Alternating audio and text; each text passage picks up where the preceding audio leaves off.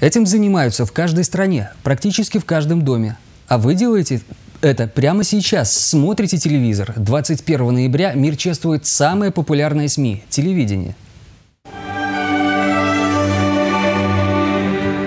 Отмечать День телевидения еще в 1997 году предложила Генеральная ассамблея ООН. Предполагалось, что в этот день страны будут обмениваться телевизионными программами на тему мира, безопасности, экономического и социального развития.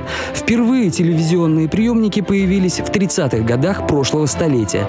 Тогда американский инженер российского происхождения Владимир Заворыкин изобрел катодную трубку. Массовое распространение телевещания получило в 50-е годы.